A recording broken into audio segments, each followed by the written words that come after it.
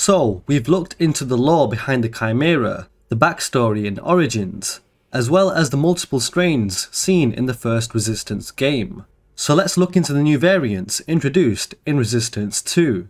As always, I'm your host Abz, and here are the Chimeran strains in Resistance 2 lore. After the carrier strains were compromised and exterminated, lessening the Chimera's need of conversion centers, the Chimera replaced the crawler strain with a more practical solution in the form of the infection vectors known as the spinners. Spinners were also released from the missile bioweapons known as the spires and would capture humans and weave them into cocoons. Then, the hosts are converted into whatever strain is required or needed for the Chimeran war effort. How the spinners actually work remains a mystery as they are not deployed in overwhelming numbers like the crawlers. So you wonder how such small creatures could overpower humans, which is part of the mystery behind their unstoppable force. However, a strain of chimera, known as the mother spinner, appears to be some sort of queen to these chimeran strains. This strain would not have been created from human hosts, but may have just been an evolution of a spinner, similar to how the leapers were crawlers, who failed to find a suitable host, and then gorged themselves in human or animal corpses, transforming into leapers.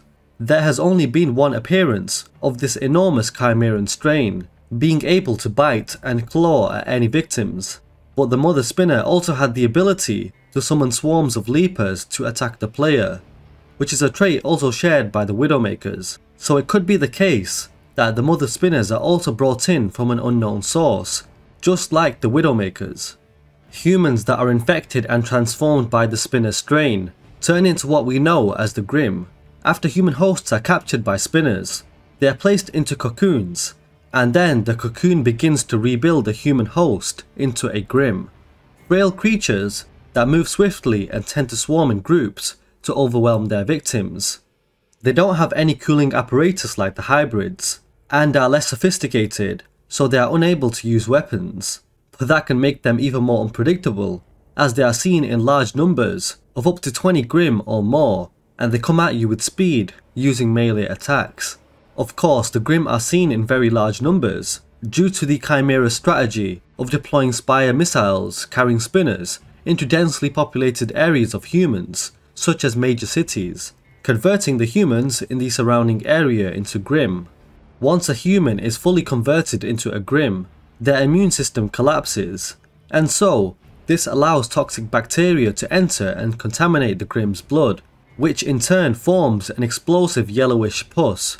This malforms the Grim during an unknown stage in its life cycle, turning it into what we know as the leech. The leeches are highly toxic with their explosive blood, and therefore their only purpose is to kill their prey by performing a suicide run at their victims, and self-exploding on contact. They are extremely quick, just like the standard Grim, and therefore even more devastating at close proximity. A physically impressive and superior strain of Chimera, however, are the Ravagers. You could say they are the middle ground between a standard hybrid and a Titan. They are seen as the strongest, regular Chimeran infantry on the front lines, engineered to withstand and dish out heavy damage. They are an elite fighting unit, serving as a field commander, equipped with heavy armour, and the Ravagers use the devastating Brute minigun, along with a plasma gun with a portable shield. They are also brutal melee fighters who can charge at you with speed. The game doesn't state how tall these beasts are, but I'd assume at least 8 feet tall at a minimum. A very interesting and one of my favourite Chimeran strains is the Chameleon.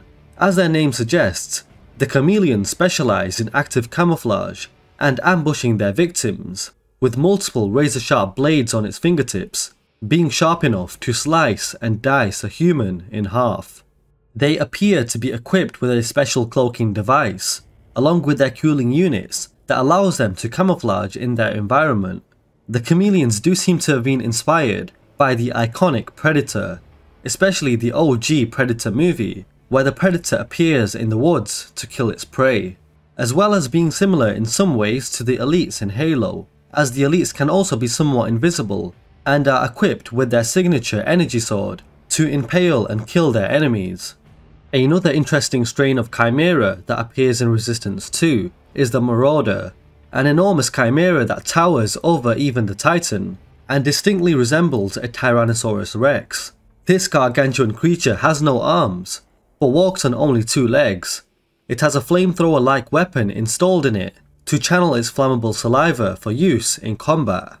The Marauder is also equipped with a special cooling unit that allows the creature to use the flamethrower-like device and not overheat easily.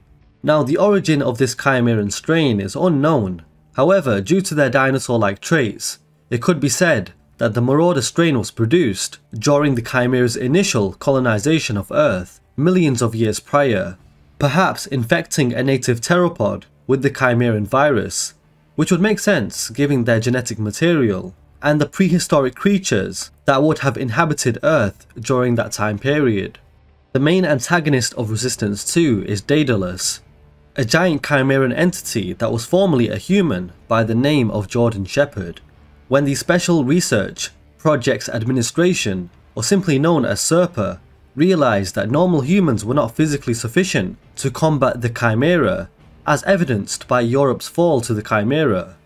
The SERPA Tactical Ops proposed the creation of enhanced super soldiers that were on par with the Chimera.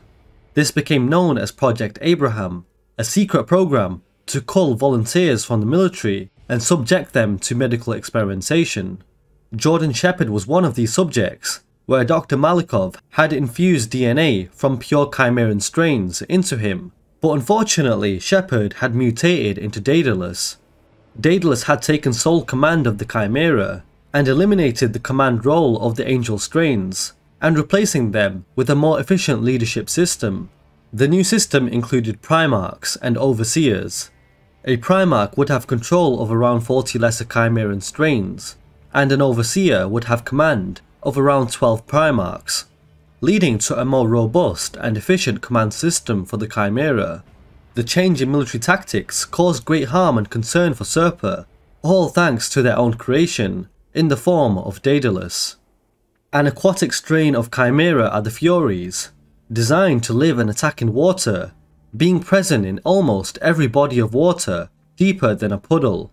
As soon as a human would enter the water, the Fury would swim towards them in a swift manner and attack, turning bodies of water into instant death traps by circling their prey and biting and mauling them to death. However, a much larger aquatic strain of the Chimera is the mighty Kraken, consuming prey with its mouth, but also having extended tentacles, each of them tipped with mechanical drills that split into claws, causing huge damage.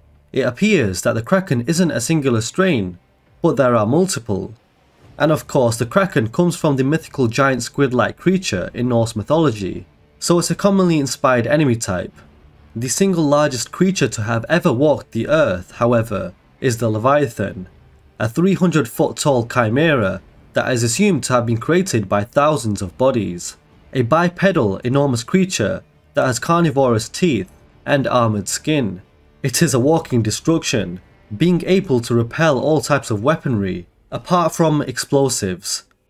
And then we have the Swarm. So, since the Crawler's previous role was made redundant due to the more effective Spinner strain, the Chimera reutilized the Crawlers into a more deadly, evolved entity. A swarm of evolved crawlers that are highly resilient to human firearms due to the ability of digesting metals that become infused into its exoskeleton. Their bodies are composed of 80% titanium silver alloy, but although they may be able to repel firearms, due to their metallic exoskeleton, the swarm is electrically conductive and therefore very vulnerable to electrical weaponry. So that, my friends, are the Chimeran strains in Resistance 2 lore.